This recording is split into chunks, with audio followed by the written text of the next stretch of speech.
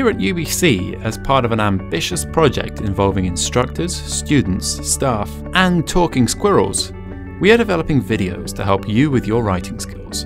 Because communicating science effectively is an incredibly important part of being a good scientist.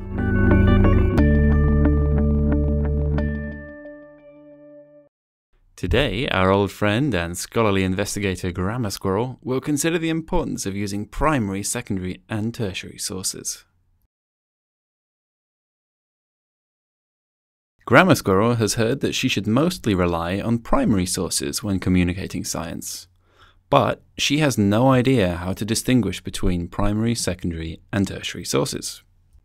By considering three different ways one scientific discovery was reported, we are going to highlight an easy way for Grammar Squirrel and you to do just this. First, meet Hazel Digsbury, as intrepid an explorer as you could ever wish to meet. Not so long ago, Hazel was thrilled to discover a fossil of a new species of mammal while on an exploratory dig. After a lot of hard work at the site of the dig, and back in the lab and in the library, Hazel realized that this new fossil was that of an ancient relative to the flying squirrel. She wrote up the research in a scientific paper and submitted the article to a science journal. And sometime later, she was thrilled to have the article accepted and published in the journal. Soon after, Nuts McGavin, a friendly competitor in the field of all things squirrel and fossil related, spent a good deal of time reading dozens of journal articles about flying mammal fossils, including the one that Hazel found, because he's writing a review of the existing literature on the topic. Sometime later, Nuts is thrilled to see his review article published in his favourite science journal. In this article, a lot of attention falls on Hazel's discovery, as well as on similar discoveries made by other intrepid explorers.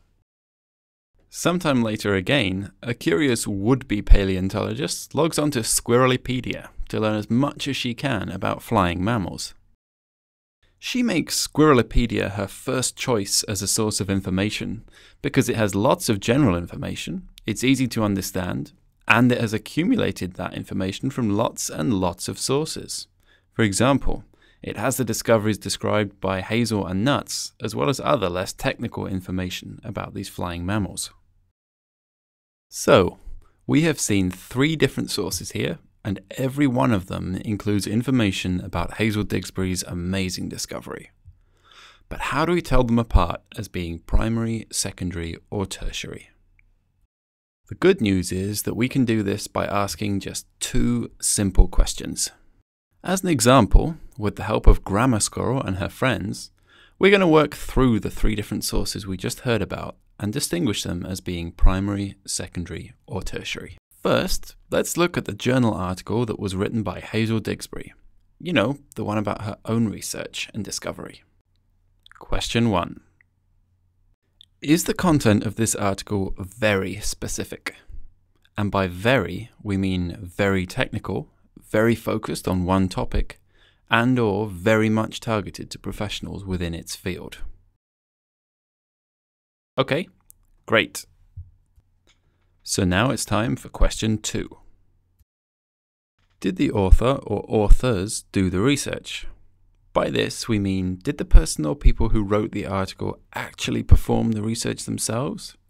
Are they reporting on a specific part of their own work that hasn't been previously discussed in the literature? Okay, great. So that's a yes and a yes for the first source. So let's fill in a little chart. So for the first example, we answered yes to the question, is the content very specific? And yes to the question, did the author or authors do the research? And answering yes to both, we have a primary source. The content is very specific, and the person who actually performed the research wrote the article. Now let's look at the second source, which was the review article written by Nuts McGavin. Remember, it reviewed Hazel's journal article, as well as other journal articles about related research. So, back to question one. Is the content of this article very specific? And remember, by very, we mean very technical, very focused on one topic, and or very much targeted to professionals within its field. Okay, great. And question two. Did the author or authors do the research? And remember, by this we mean, did the person who wrote the article actually perform the research themselves? Are they talking about a specific part of their own work that hasn't been discussed in the literature before? Right, so that's the big difference between Nuts' article and the one written by Hazel. Back to our chart. And importantly, answering yes to the first question but no to the second means we have a secondary source. The material is very specific in terms of its content, but someone who didn't actually perform the research or make the original discovery wrote it. And finally, let's go back to the popular, if potentially untrustworthy, Squirrelipedia source. Same old question one. Is the content of this article very specific? Okay, so that's a big difference between this source and the other two. And question two. Did the author or authors do the research?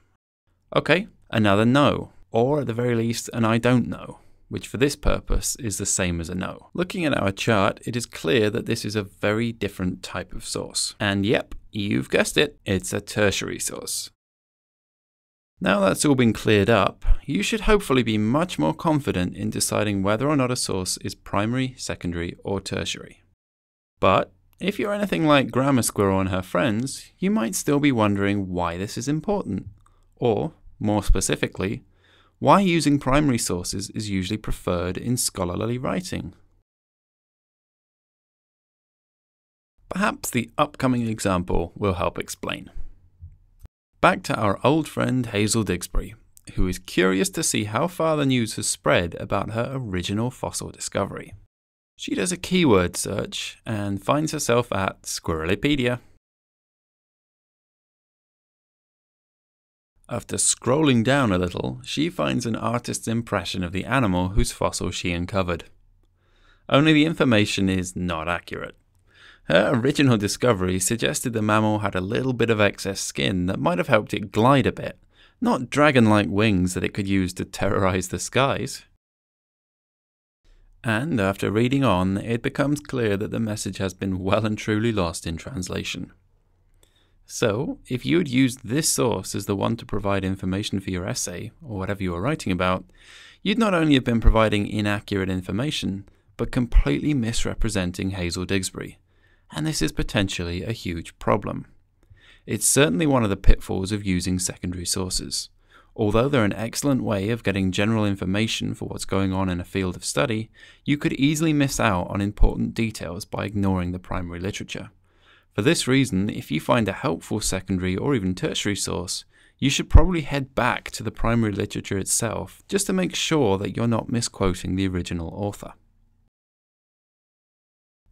You've probably been frustrated and or upset when someone has misquoted you or taken something you've said out of context. And when it comes to academics, it's no different. In fact, misrepresenting a source can even be confused with plagiarism. But if you use a primary source, not only are you guaranteed to be getting material that's very specific and relevant to what you're writing about, it'll also ensure you're getting the information straight from the horse's mouth. Now, there are a few sources that typically fall under the categories of primary, secondary, or tertiary, and these have been listed below for you, just as a general guideline. But remember, with any source, if you just simply ask yourself the two questions we've displayed in this video, it will really help you distinguish between them.